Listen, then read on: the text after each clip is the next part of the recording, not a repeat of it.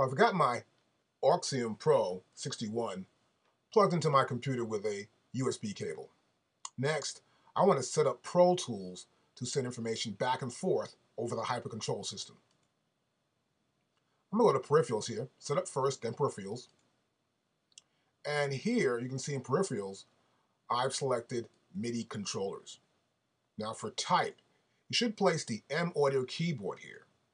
Next, receive from, we're going to get the Axiom Pro 61 Hypercontrol in. It's already selected. Next, we're going to have the Axiom Pro 61 Hypercontrol out. And that's set for send to. Now here in channels, it should come automatically. It should be set to 8. If not, make sure it is. Once that's done, we press OK. Now, I can move my cursor here, for example, and I'll press play on my Axiom.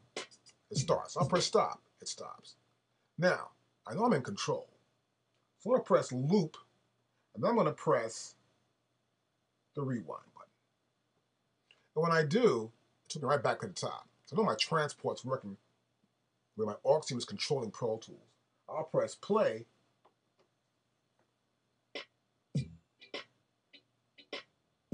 And we started. Now I know that I'm ready to go.